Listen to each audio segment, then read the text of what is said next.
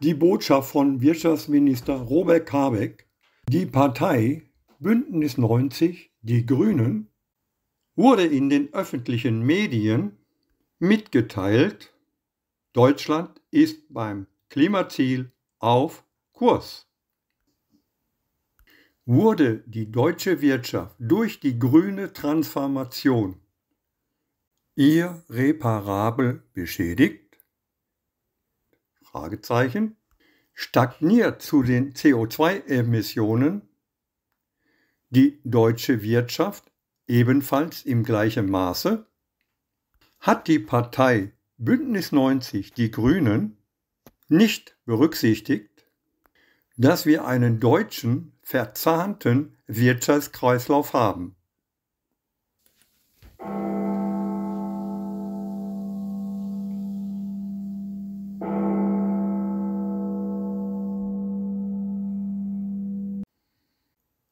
Der Wirtschaftsminister präsentierte die Verringerung der CO2-Emissionen als einen großen Erfolg. Erfolgte die CO2-Einsparung durch die grüne Transformation der Wirtschaft? Oder haben andere Gründe dazu geführt? Durch die unten aufgeführten Zwangsmaßnahmen wurden in der Corona-Pandemie die CO2-Emissionen verringert. Lockdowns von mittelständischen und Kleinunternehmen, umfangreiche Kurzarbeit, deutlicher Rückgang der Mobilität, keine Fahrten zu den Arbeitsstellen, Schrumpfung der deutschen Wirtschaft, ein erhöhter Anteil an Unternehmensinsolvenzen. Beeinflusst wurde die Verringerung der CO2-Emissionen ebenfalls durch steigende Energiekosten, hohe Zinsbelastungen, Erhöhung der CO2-Bepreisung und der überbordenden Bürokratie. Die Unternehmen haben ihre Produktion heruntergefahren.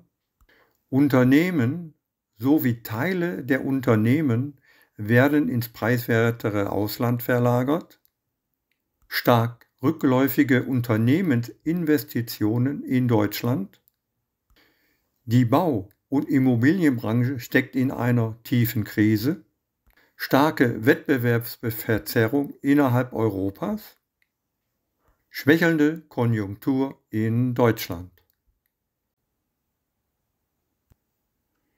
Führte dies zu weniger Kohlenstoffdioxid CO2 in der Erdatmosphäre? Nein. Aktuell beträgt der CO2-Anteil in der Erdatmosphäre 423,6 plus minus 0,5 ppm. Der CO2-Ausstoß kann nur reduziert werden, wenn alle mitmachen. Denn was wir nicht verbrauchen, verbrauchen sonst andere. Wenn Deutschland kein Öl mehr kauft, fällt der Weltmarktpreis und andere kaufen es. Daher ist in der Erdatmosphäre der CO2-Gehalt angestiegen. Seht euch dazu die beiden aktuellen Grafiken an. Zur Grafik 1 vom jährlichen CO2-Ausstoß produziert die Natur selbst 96 Prozent und lediglich 4 Prozent sind menschengemacht. 4 Prozent von 0,04 ergeben 0,0016 Prozent menschengemachtes CO2 in der Erdatmosphäre. Der Anteil Deutschland daran ist 1,76 Prozent.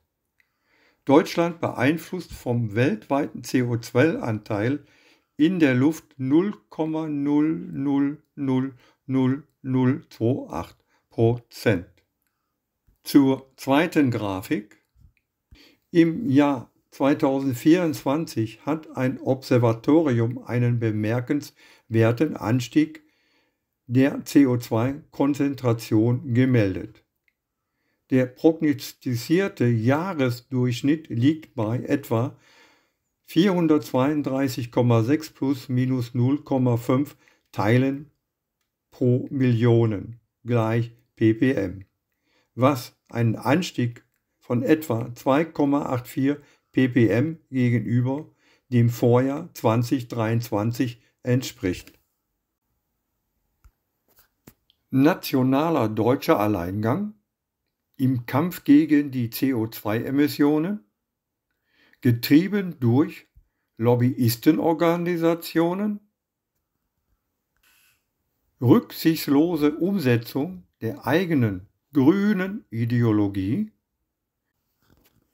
gehören Unternehmen, Bürger und die Umwelt, Flora und Fauna zu einem hinnehmbaren Kollateralschaden? Die untere Grafik zeigt dir nochmals den CO2-Anstieg der verschiedenen Länder an. Die deutsche Wirtschaft schwächelt und erholt sich nicht. Die Analyse zeigt folgende Probleme auf. Energieintensive Branchen wie Chemie, Metall, Papierindustrie sind geschrumpft oder verlagern die Produktion für ihre Wettbewerbsfähigkeit ins preiswertere Ausland. Besonders die hohen Energiepreise, Inflation und hohe Zinsen im Kampf gegen die Teuerung sorgen für eine schwache Konjunktur und eine schrumpfende Wirtschaft. Ein weiteres Hemmnis für Investitionen ist die überbordende Bürokratie in Deutschland. Diese verhindert geplante Investitionen und die Gründung neuer Unternehmen. Fehlende Prioritätensetzung bezüglich unzureichender Investitionen in die Infrastruktur. Die noch vorhandene deutsche Infrastruktur wird weiter aufgezehrt.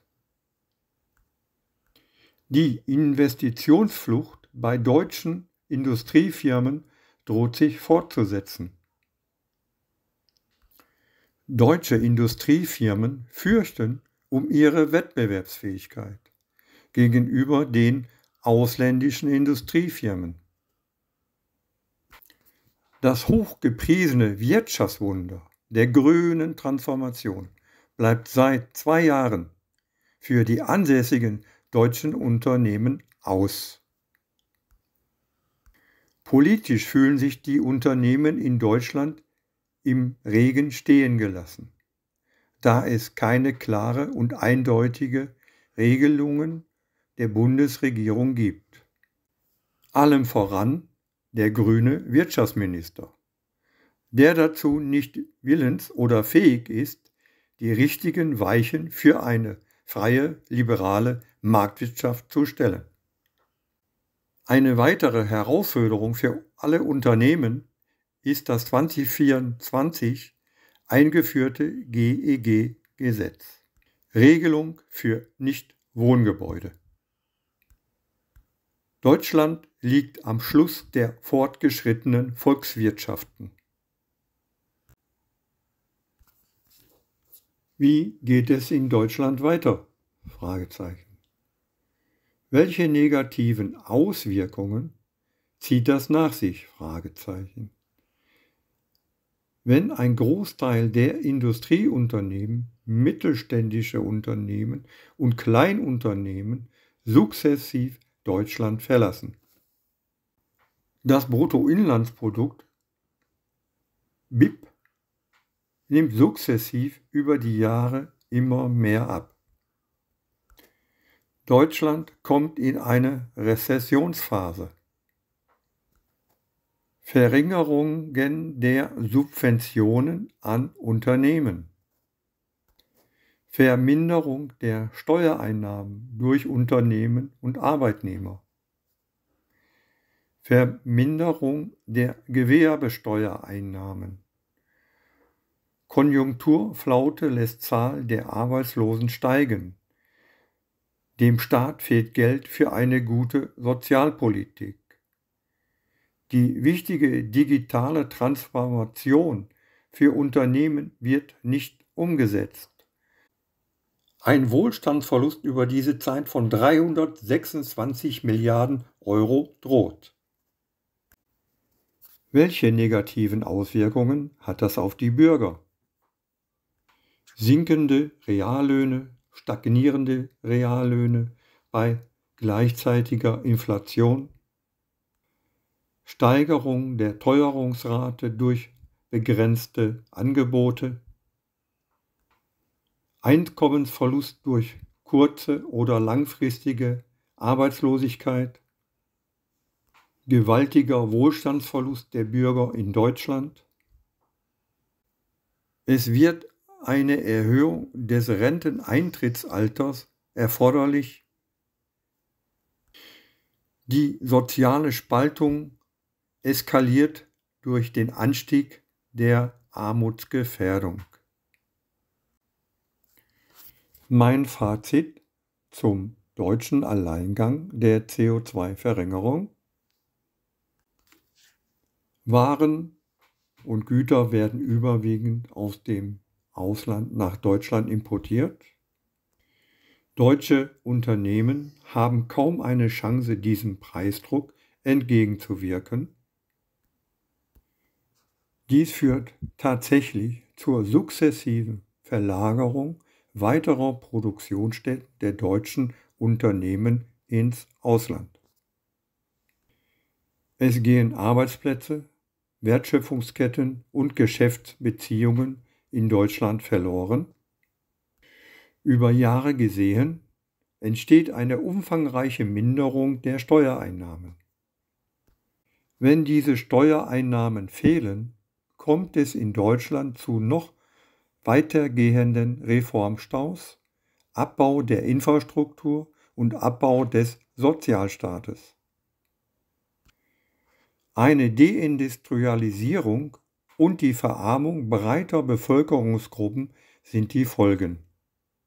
Bezüglich der Armutsgefährdung werden in Deutschland vermutlich soziale Verwerfungen entstehen. Vielen Dank für Ihre Aufmerksamkeit und Ihr Interesse.